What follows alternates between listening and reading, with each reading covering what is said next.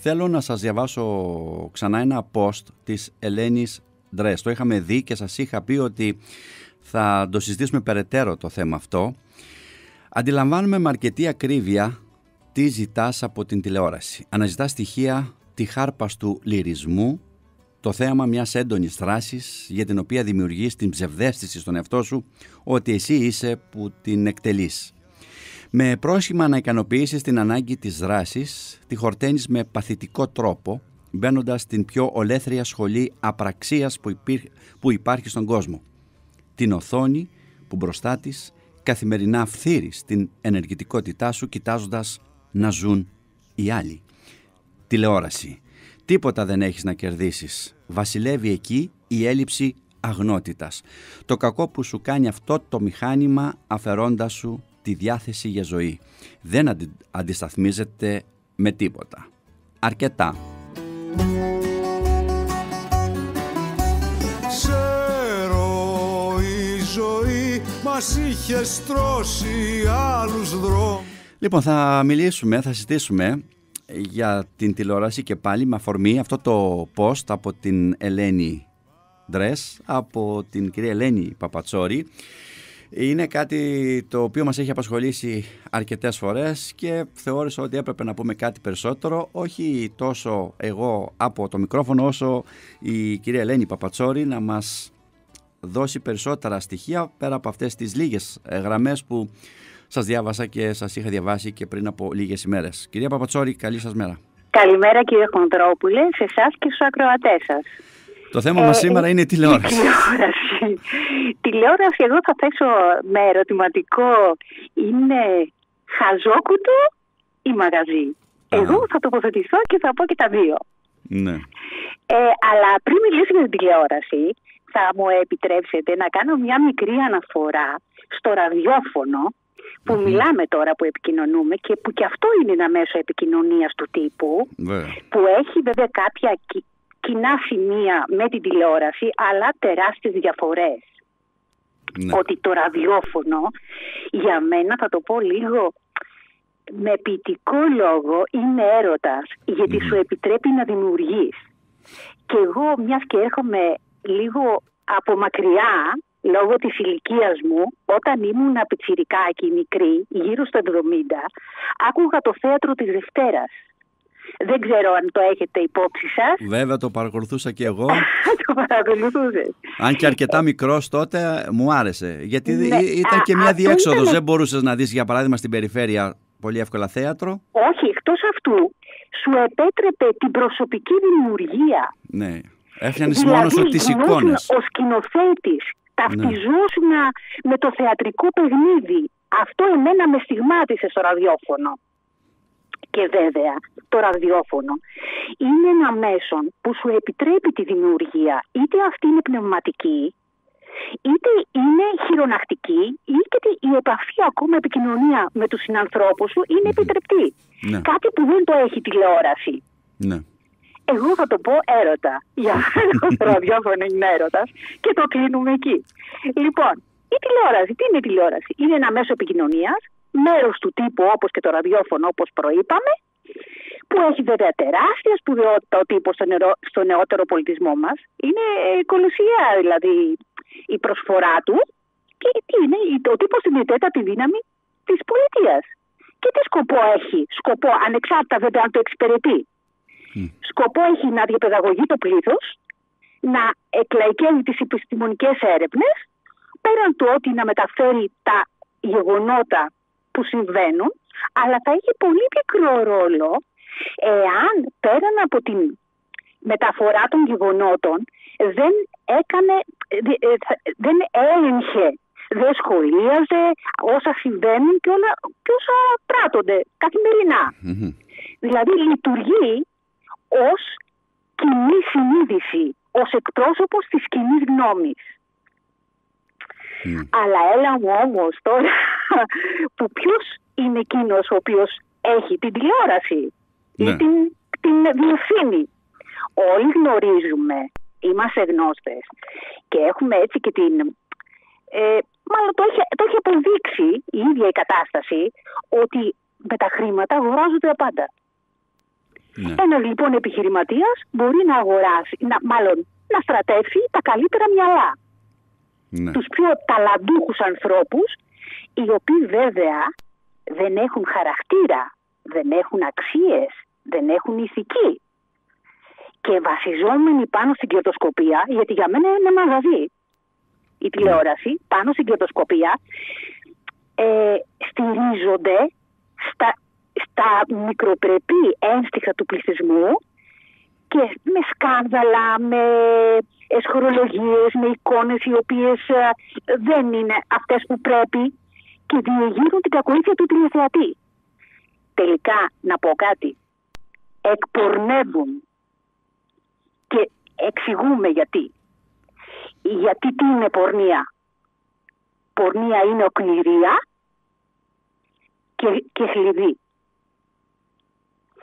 Όταν σε απενεργοποιούν και αναφέρομαι κυρίως σε νέους ανθρώπους, βλέπεις στην τηλεόραση ένα ψυχαγωγικό πρόγραμμα. Θα πω ας πούμε ένα παράδειγμα.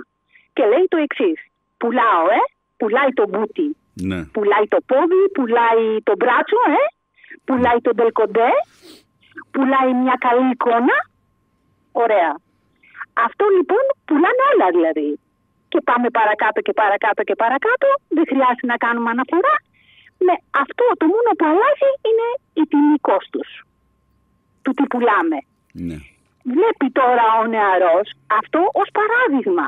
Δηλαδή δεν κάνει τίποτα, δεν έχει κάνει καμία προσπάθεια στη ζωή της, όχι ή ηχή. Δηλαδή δεν έχει την υποδομή, την Ναι. πνευματική, την καλλιέργεια. Και παίρνει τεράστια οικονομικά ποσά. Και είναι και διάσημη. Και είναι και διάσημη. Τώρα το θέμα της διασημότητας είναι σχετικό, Ναι. εντάξει, γιατί διάσημος μπορεί να είσαι με διάφορους τρόπους. Ναι. Το θέμα είναι το εξής, ότι ε, εκπορνεύει κατά κυριολεξία. Γιατί, γιατί δημιουργεί αυτή την οκνηρία χωρίς καμία προσπάθεια, τι ωραία, τι καλά, φτιάχνοντας μια πολύ ωραία εικόνα. Γι' αυτό υπάρχει και αυτή η τάση της εικόνας, της εμφάνισης. Στηριζόμαστε πάρα πολύ στην εικόνα και μπορούμε να καταφέρουμε τα πάντα. Να έχουμε τα πάντα. Βέβαια δεν αντιλαμβάνονται, δεν μπορούν να αντιληφθούν ότι στην πορεία θα είναι σαν ένα άχρηστο αντικείμενο το οποίο όταν θα πάψουν να έχουν αυτή την εικόνα θα τους πετάξουν σαν Ναι. την τρίχα από το προζύμι. ναι. Γιατί έχει η τηλεόραση ανάγκη όλα αυτά τα πρόσωπα και κυρίω Εννοείται, κυρίως τους εννοείται, νέους τους εννοείται. ξεζουμίζει, τους ξεζουμίζει Και μετά τους όταν, πετάει. ναι, όταν Τους δεν τους πετάει. χρειάζεται τους πετάει και εκεί πλέον μετά είσαι τελείως τα ζήτητα. Είσαι Κάποτε σαν είχα γράψει καμένος, ένα- έχει ένα- κάψει η Ναι, ναι, τηλεόραση. κάποτε είχα γράψει ένα θέμα το οποίο λέω το εξής. Κυρίοι, βλέπετε, είσαστε μόνο με τη χρυσόσκονη. Αλλά όταν φύγει η χρυσόσκονη, θα μείνει η μουτζούρα. Ναι. Έτσι το είχα, α, είχα αποκαλέσει αυτό το χώρο. Βέβαια εγώ ούτε επιτρέπω στον εαυτό μου, στη θέση μου, αλλά ούτε και κανένα δικαίωμα έχω να σηκώσω το δάχτυλο σε κανέναν για το αν βλέπει τηλεόραση ή όχι. Εγώ τοποθετούμε σύμφωνα με τις δικές μου θέσεις και παρατηρήσεις.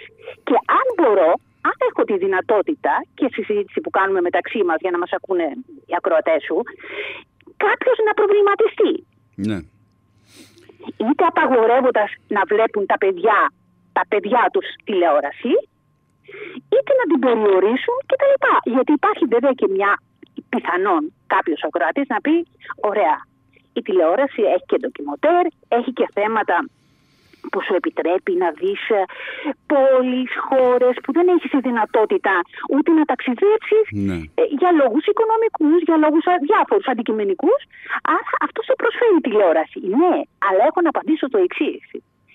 Ε, μου θυμίζει το καπνιστή ή όποιον είναι εξαρτημένο από κάτι που λέει το εξής. Ένα, δύο, τρία τσιγαράκια την ημέρα δεν κάνει τίποτα. Κάνει; Όχι. ναι. Ναι, το θέμα είναι πόσοι έχουν τη δύναμη να περιοριστούν σε αυτό. ναι, γιατί τα Γιατί η δύο-τρία εικόνα θα είναι γίνουν πέντε-έξι. καθηλωτική. Ναι. Η εικόνα είναι καθηλωτική. Σταματάει τη λειτουργία του νου. Ναι. Δηλαδή δεν σου επιτρέπει να σκέπτεσαι.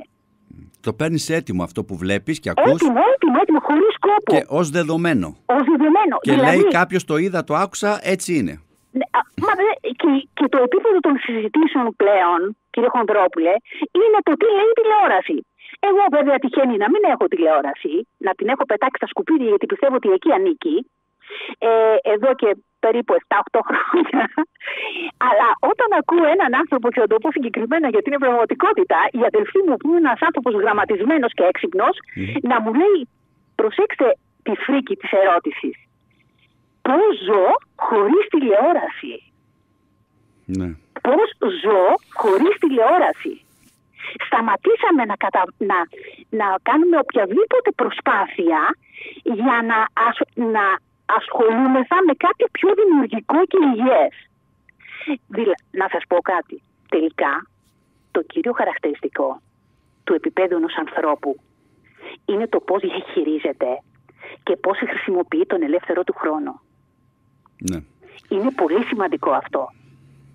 Γιατί ακούμε πολλούς να λένε δεν έχω ελεύθερο χρόνο, αλλά Όχι, αν. είναι θέμα επιλογής. Ναι, αν δούμε τις επιλογές του, Αποφασίζεσαι. ναι, Ναι. αν δούμε τις επιλογές του, πολλές ώρες τηλεόρασης, πολλές ώρες διαδίκτυο. Ναι, απλώς δεν, είναι, δεν, κα- δεν επιθυμεί να καταβάλει κόπο. Αυτό που έγραψα τον απενεργοποιεί στην ουσία. Ναι. Ζει με τις ζωές των άλλων. Ή με Ναι. τα σύριαλ που ακούω διάφορα κτλ. Δεν ξέρω, δεν, δεν, δεν ασχολούμαι με το θέμα, δεν θέλω να σχολιάσω επιμέρους θέματα γιατί δεν έχει και καμία σημασία για μένα. Αλλά λέω ότι και εσύ, ο, ο μεγάλος σε ηλικία, που τέλος πάντων λες ότι δεν έχω να περάσω. Να σκοτώσω την ώρα μου, λέει. Να σκοτώσω την ώρα μου. Που δεν αντιλα... Δηλαδή, λίγο να το σκεφτούμε, να προβληματιστούμε. Ποια ώρα να σκοτώσεις; Η ώρα, η στιγμή, είναι η ζωή σου. Αυτό είναι ζωή. Δεν σου εγγυάται κανένας ότι θα υπάρχει επόμενη. Ναι. Τι να σκοτώσεις. Ή το άλλο λέει το χαζο- ε, θα πάω να χαζέψω. Δηλαδή, σ- με απόλυτο σεβασμό στους ανθρώπους που έχουν διανοητικά προβλήματα, με απόλυτο σεβασμό, δεν το συζητάω αυτό, το λέω για να μην υπάρχουν παρεξηγήσεις, θέτεις τον εαυτό σου στο επίπεδο του διανοητικά α, ελλειπή και λες ότι θα πάω να χαζέψω. Δηλαδή το χρόνο σου τον διαχειρίζεσαι κατά αυτόν τον τρόπο. Είναι, είναι, είναι πολύ, πολύ άσχημο. Δηλαδή δεν, δεν, δεν, μπορώ να, δεν μπορώ να το φανταστώ. Για πολλοί κόσμο όμως η τηλεόραση είναι παρέα. Όταν κάποιος είναι μόνος στο σπίτι, έτσι, είτε άνδρας Ναι. είτε γυναίκα, είναι Ναι. και ίσως κάποιοι από αυτούς που λένε ότι θέλω να χαζέψω, να σκοτώσω την ώρα μου. Να αντισταθμίσω κι εγώ λοιπόν Ναι. και να πω το εξής. Παρέα είναι και το ραδιόφωνο. Το οποίο σου επιτρέπει να πλέκεις, σου επιτρέπει να κεντάς, σου επιτρέπει να συζητάς με τον σύντροφό σου ή την παρέα σου, Ναι. σου επιτρέπει να σκέφτεσαι, να φαντάζεσαι, να ταξιδεύεις. Να διαβάσεις ένα βιβλίο. Να διαβάσεις ένα βιβλίο. Καλά, α, λέω τώρα για το θέμα Ναι. ε, των μέσων ενημέρωσης. Ναι, ναι. Γιατί το θέμα του βιβλίου είναι ένα άλλος χώρος. Ναι. Αυτό δεν το, δεν το συζητάμε. για να μην πούμε τώρα εμείς ότι ξέρεις, ε, εντάξει, τα βιβλία κτλ. Ότι δεν το συζητάω. Είναι ένας χώρος ο οποίος είναι που σε ταξιδεύει. Είσαι εσύ, το βιβλίο και τίποτα άλλο. Ε, το ότι είναι πολύ σημαντικό το ότι η γνώση δίνει απάντηση σε όλα Ναι.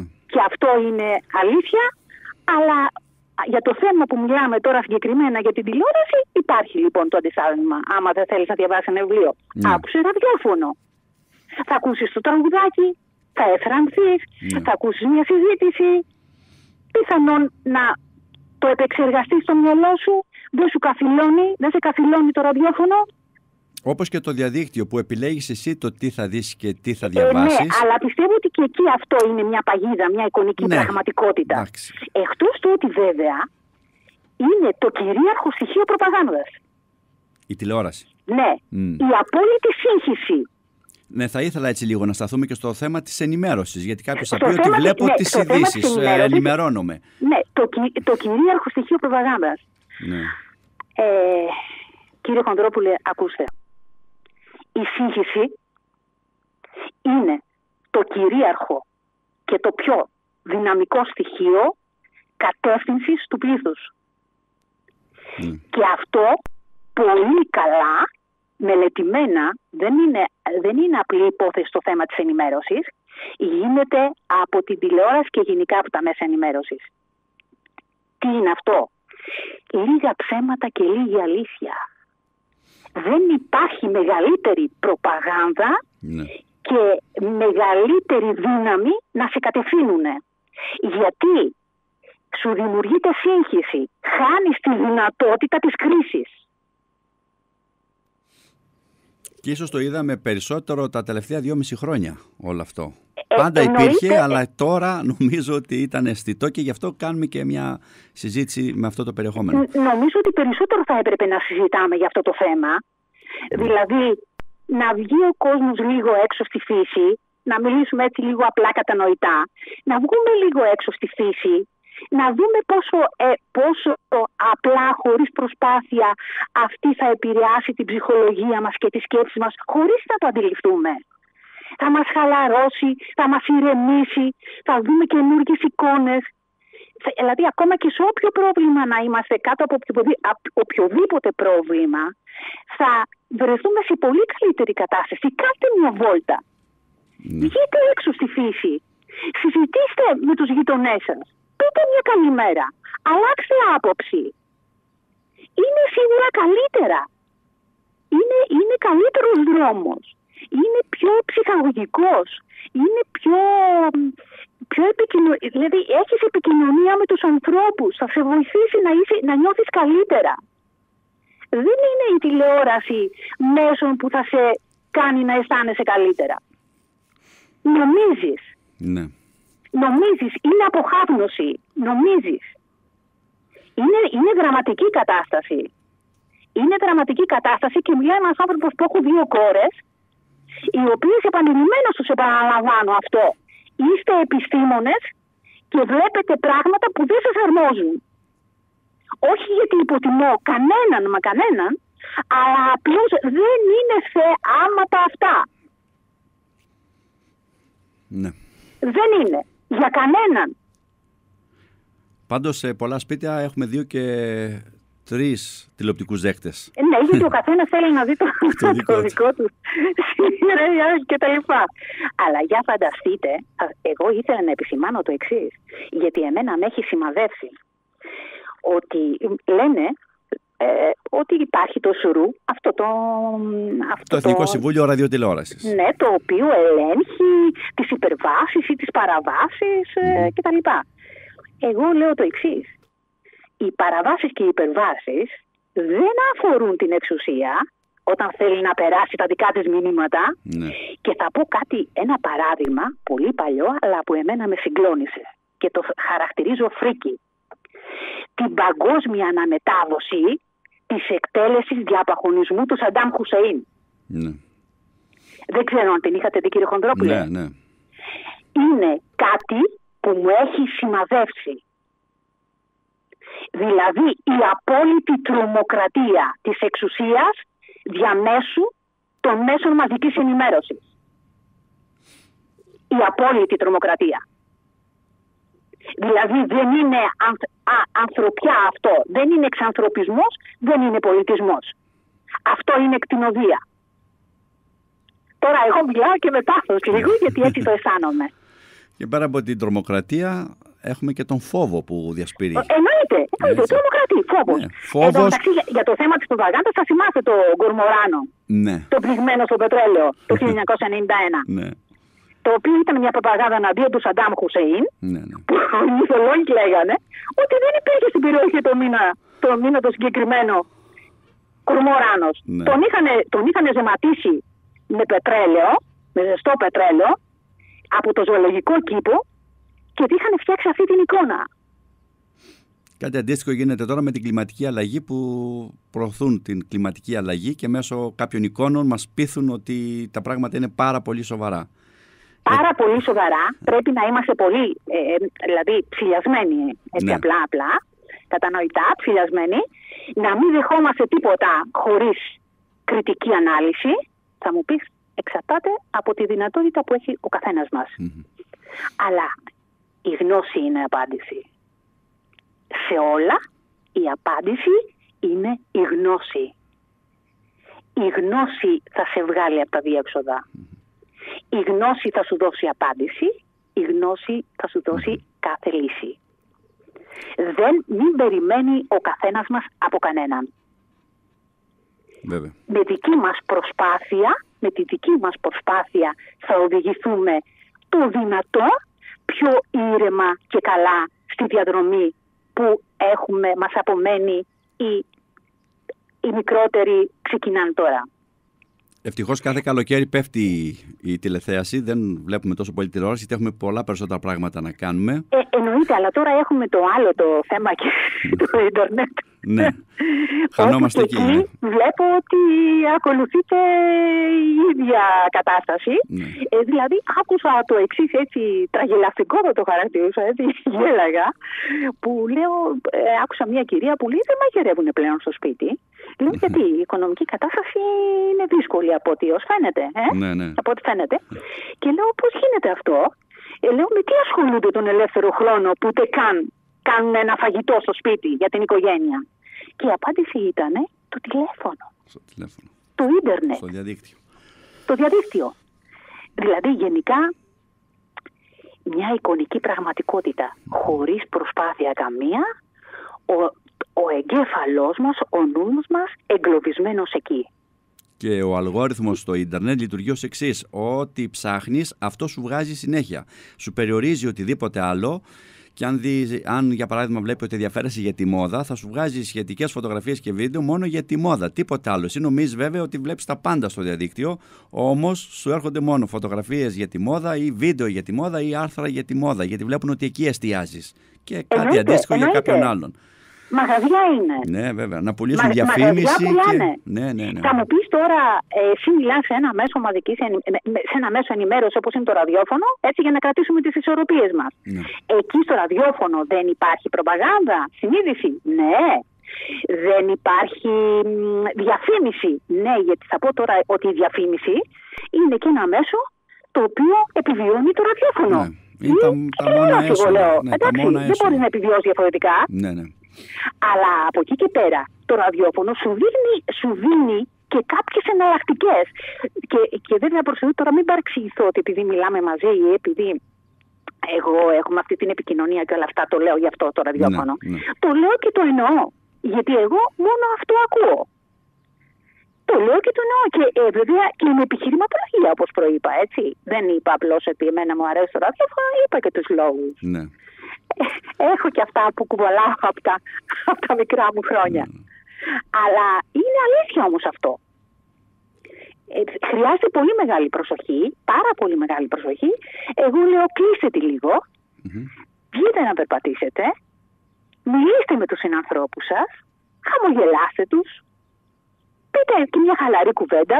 Δεν είναι απαραίτητο να κάνουμε πάντα συζητήσεις οι οποίες να έχουν φιλοσοφικό περιεχόμενο όπως συνήθως λέγεται, γιατί άμα πας να κάνεις καμιά σοβαρή συζήτηση λέει τώρα πάλι φιλοσοφίες. Ναι, ναι.